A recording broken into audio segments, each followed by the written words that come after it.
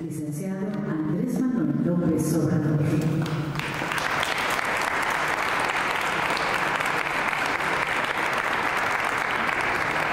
Lo acompaña la gobernadora constitucional del estado de Chihuahua, maestra María Eugenia Campos Alvarado.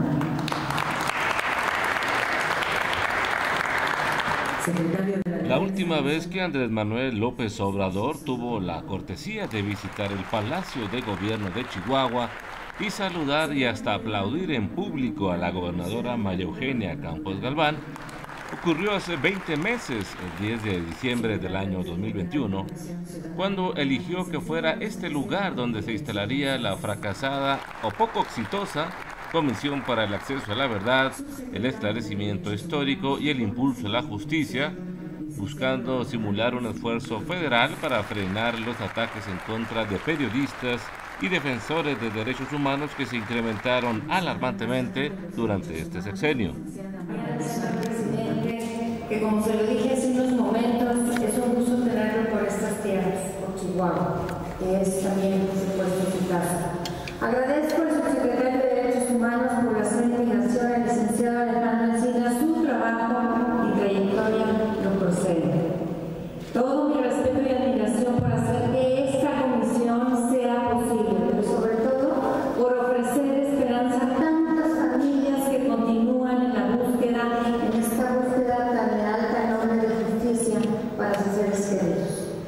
Para Chihuahua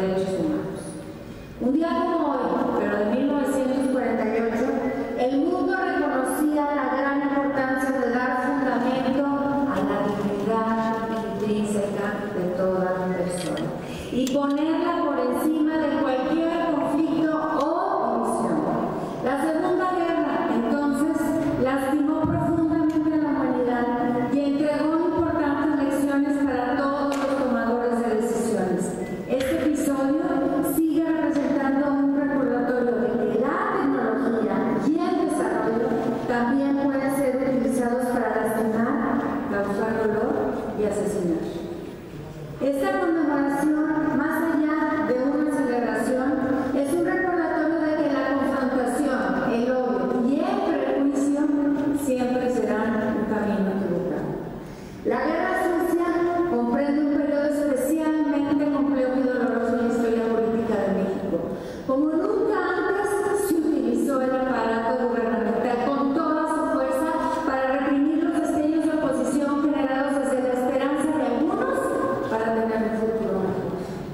Nada más cruel y nada más injusto. Nada puede justificar los crímenes cometidos por el Estado en aquel tiempo. Todo el dolor generado por aquellas acciones lamentablemente es irreparable. Sin embargo, lo que sí es posible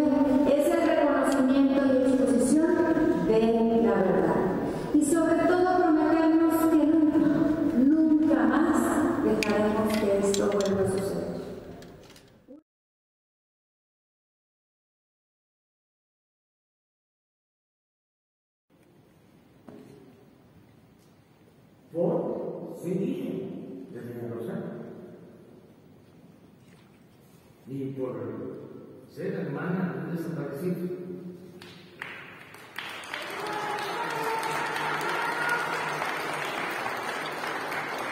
Y unas acciones no querían y se movieron intereses. Ambos gobernantes guardaron las formas y mantuvieron la diplomacia durante unos meses más, cuando en febrero del año 2022 se llevó a cabo otro encuentro conjunto en la rueda de prensa matinal celebrada en Ciudad Juárez, donde Maru Campos fue invitada a participar por el mandatario federal y en donde se dieron a conocer detalles del combate conjunto de las actividades de grupos criminales en esta frontera.